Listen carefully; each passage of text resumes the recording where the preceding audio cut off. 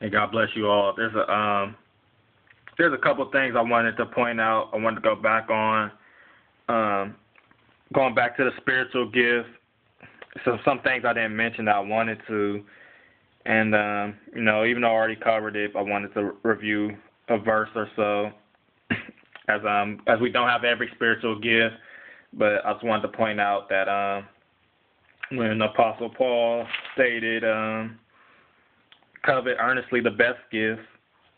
You know, so I'd ask you, you know, if you already had every gift, know, once we come into Christ, then, and why would he ask? Why would he tell you to covet the best gifts? And something else that I've shared with uh, my mom and my brother as well, um, you know, is the way they they teach you.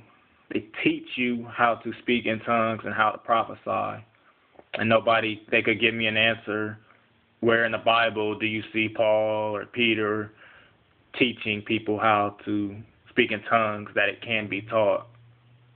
You know, they literally teach you breathe in and move your lips like this and and and I, I didn't know any better then and and I just know how demonic that is now. Again, with the foundation not knowing who God is and this Holy Spirit isn't it and you're calling this tongues and now you're teaching tongues, so you know you ain't speaking in tongues, and you don't even know who God is, and um, that's an interesting point on the uh, you know on the spiritual gifts. You know, covet the best gifts. You know, ask for your gifts to be to be manifested. That's something I'm doing, and uh, you know, you at least have one of them. You know, that's a guarantee. And um, another thing I was gonna mention is this um, a lot of people they deny the Trinity. Of course, it's from ignorance, always. You know, some people they they do know what it teaches, but they're just not going to believe it. But most cases, it's ignorance, and it starts with um, you know, not understanding what the doctrine is, and you know, they think it's three gods and all that. But what's interesting is um, just as Arian taught, you know, that's where this Jehovah Witness doctrine comes from, that Jesus is a God, um, while trying to avoid um, three gods, uh, they um, are actually they've actually created another God, and the witnesses happily tell you Jesus is a God, and they straight up put um, in John one one the word was a God. They inserted the, the indefinite article a into that to that verse because again they any verse that says Jesus is God they edit on all that you know it's not a translation. But the way international they aren't saying that Jesus is a God like the Jehovah's Witnesses do but it's no different because their belief is the same. So check this out. You have you have a perfect son of God who is um, who is to be worshipped, who does all the things God does and only can do, such as forgive sin, um, um, accept worship, um, make claims that belong to God, you know, being the I am, the Alpha, the Omega, and all these things, and yet, and yet he's not God. So clearly, this is a God. So while trying to avoid multiple gods, you've actually created multiple gods.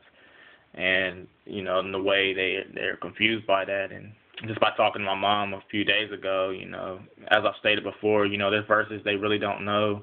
I talked to her about the Holy Spirit, about him being grieved and lied to, all these uh, verses that tell you he's a being, that he is God, and she doesn't know them, and there's a reason for that, you know because they're they're not going to teach on that, and um, also that uh, you know the um the the way international they they try to limit the Holy Spirit to they they will pick and choose when when the Holy Spirit is actually God the Father, and so when they believe that it's referring to to the Father, they they capitalize H and S Holy Spirit, and a lowercase h and s when it's the gift, Holy Spirit.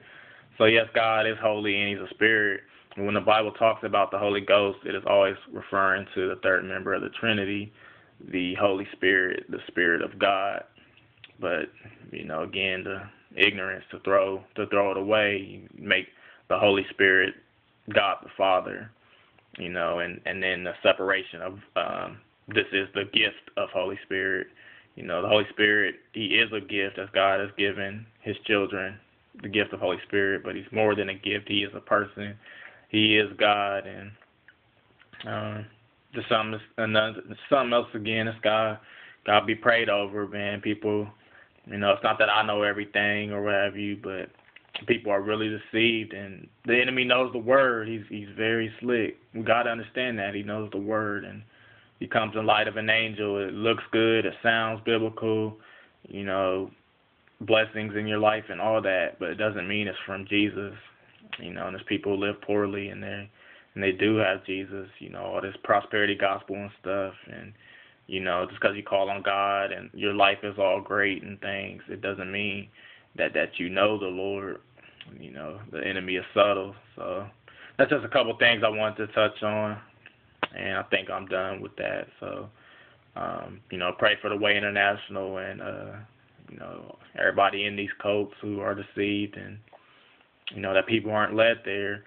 Um, as long as they continue to teach these things, you know, pray for them that they can come to the truth and that they do, and that they repent because it's, it's just the truth. This this road does not lead to heaven.